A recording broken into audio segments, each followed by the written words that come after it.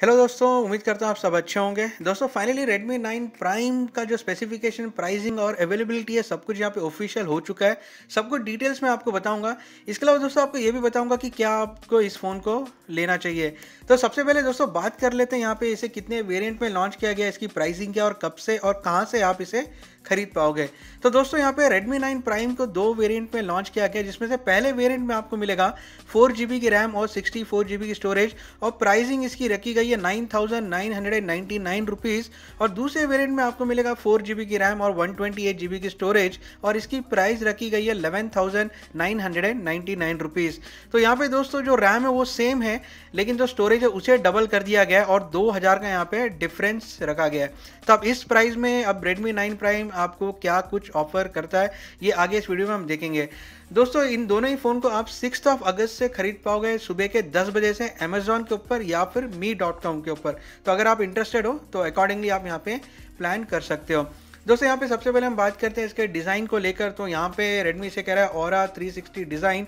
तो बेसिकली पीछे की तरफ़ आपको एक सर्कल मिलेगा और इसी सर्कल में सारा सेटअप आपको यहाँ पे इसके कैमरा का मिलने वाला है। तो तीन कैमरा आप देख सकते हैं। यहाँ पे इन्होंने वर्टिकली सेट किया है। उसके नीचे यहाँ पे एक फिंगरप्रिंट स्कैनर दिया है। साइड में आपको यहाँ पे एक एल फ्लैश मिल जाएगा और उसके नीचे एक और एक सा कैमरा अब इसके कॉन्फिग्रेशन के बारे में आगे इस वीडियो में हम बात करेंगे।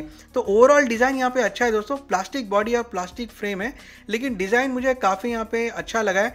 अब एक बात यहाँ पे आपको ध्यान देना है दोस्तों, इसका जो मोटाई है, जो इसका थिकनेस है, वो 9.1 पॉइंट mm है और 198 ग्राम इसका वेट है। तो हो सकता है आपको थोड़ा मोटा और थोड़ा भारी लग सकता है दोस्तों। तो ओवरऑल डिज़ाइन यहाँ पे ठीक ठाक है, आप कह सकते हैं। डिस्प्ले के बारे में अगर बात करें तो दोस्तों, यहाँ पे आपको 6.53 इंच का डिस्प्ले मिलता है। फुल एच डी इसकी रेजोल्यूशन है। 60 हर्ट्स का आईपीएस डिस्प्ले यहाँ पे दिया गया। कॉर्निंग गोरिल्ला ग्लास 3 के प्रोटेक्शन के साथ आता है। स्प्लैश प्रूफ यहाँ पे इसे बनाया गया है। तो यहाँ पे डिस्प्ले के मामले में अगर आप देखोगे दस हज़ार के प्राइस के अंदर तो शायद ही आपको कोई फ़ोन मिलेगा जहाँ पे आपको फुल एचडी डिस्प्ले मिलने वाला है। तो यहाँ पे ये काफ़ी अच्छा काम किया है। प्रोटेक्शन भी यहाँ पे दिया गया कॉर्निंग गोरिल्ला ग्लास थ्री का। पीछे की तरफ़, जैसे मैंने आपको बताया फिंगरप्रिंट स्कैनर भी है और फेस अनलॉक का ऑप्शन भी यहाँ पर आपको देखने को मिल जाता है। तो डिस्प्ले और यहाँ पे सिक्योरिटी दोनों ही काफ़ी अच्छा काम किया गया है। कैमराज के बारे में बात करें तो दोस्तों, पीछे यहाँ पे चार कैमरा का सेटअप आपको देखने के लिए मिल जाएगा, जिसमें से पहला कैमरा है तेरह मेगा का और इसका एपर्चर है एफ़ टू डॉट टू दूसरा लेंस है यहाँ पे एट मेगा का, जो कि अल्ट्रा वाइड लेंस है। पाँच मेगा का एक मैक्रो और दो मेगा का एक डेप सेंसर दिया गया है। तो कॉन्फ़िगरेशन प्राइस के हिसाब से ठीक ठाक है और ठीक ठाक परफॉर्मेंस भी यहाँ पे मिल जाएगा। सेल्फी कैमरा यहाँ पे 8 मेगापिक्सल का दिया है, जिसका एपर्चर है एफ़ टू डॉट ज़ीरो तो आपको डिसेंट सा परफॉर्मेंस यहाँ पे कैमरा से देखने को मिल जाएगा, चाहे चाहे वो फ्रंट कैमरा हो या फिर इसका बैक कैमरा हो। परफॉर्मेंस के लिए दोस्तों, यहाँ पे इस बार आपको जो चिपसेट है, वो मीडिया टेक का दिया है। मीडिया टेक का हीलियो जी जो कि एक ऑक्टोकोर प्रोसेसर है। तो यहाँ पे पहले के दो कोर क्लॉक करेंगे टू पॉइंट टू गीगा पर, और कॉटेक्स ए सेवेंटी फाइव के बेस पे से बनाया गया है। बाकी के छः कोर यहाँ पे क्लॉक करेंगे 1.8 गीगा पे, और कॉटेक्स ए फिफ्टी फाइव वाले के बेस पे इसे यहाँ पे बनाया गया है।